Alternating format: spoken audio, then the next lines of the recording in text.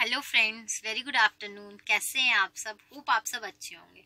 First of all मैं कह देती हूँ कि अगर आप मेरे चैनल पे न्यू हो तो please please please like subscribe and share my channel आज हम पढ़ने जा रहे हैं ऑडिटिंग चैप्टर टेन का.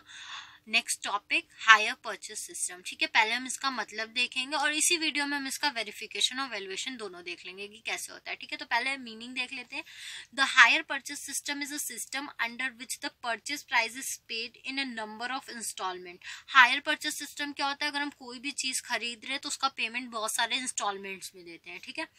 As soon as the contract is entered in to the two and the first instalment is paid the hire purchase acquired possession, not the ownership of the goods. ठीक है, क्या जैसे ही as soon as possible जैसे ही हम उसका first instalment पे कर देते हैं तो हमें उस चीज़ की पोजेशन मिल जाती है ओनरशिप नहीं मिल जाती है। पोजेशन और ओनरशिप में बहुत डिफरेंस होता है, ठीक है?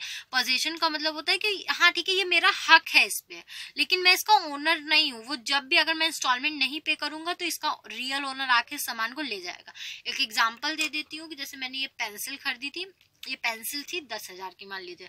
दस हज़ार की पेंसिल थी, इसके पाँच इंस्टॉलमेंट बन गए दो दो हज़ार के।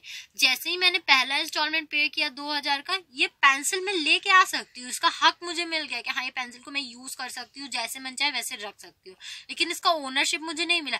जैसे ही मैं अगर दूसरा इंस्टॉलमेंट नहीं पे कर सकती हूँ तो इसका जो रियल ओनर है, वो आएगा और इस पेंसिल को ले जाएगा और मैं कुछ कह भी नहीं सकती, ठीक है?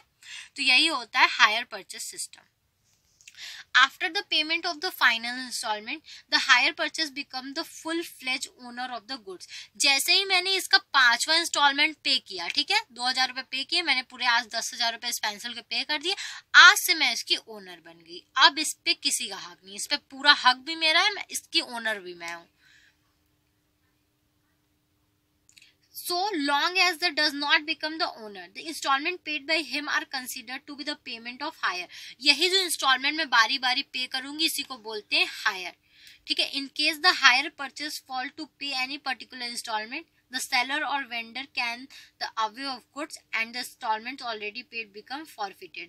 क्या किया जाता है कि अगर मैं इसको फेल हो जाती हूँ आगे के इंस्टॉलमेंट पे करने के लिए तो इसका जो ओनर होगा वो आएगा, ये ले जाएगा और मैंने जितना इंस्टॉलमेंट इसका पे किया है, वो भी फॉरफिट हो जाएगा, वो भी मुझे वापस नहीं मिलेगा, ठीक है? वो वही लोग रख लेंगे। अब देख लेते हैं वेरिफिकेशन इसका कैसे होता है? Verification of assets purchase under hire purchase ठीक है? The hire purchase agreement should be inspected in order to find out the term and condition of purchase hire purchase agreement को चेक किया जाता है देखा जाता है कि उसको किस टर्म एंड कंडीशन पे परचेज किया गया है ठीक है? After the payment of the final installment, the purchase become the full fledged with complete control owner of the good. देखा जाता है कि फाइनल पेमेंट के बाद इसकी पूरी ओनरशिप कंपनी को मिल गई है या नहीं मिली है? ठीक है? नेक्स्ट है हमारा वैल्यूएशन वैल्यूएशन क्या है हमारा?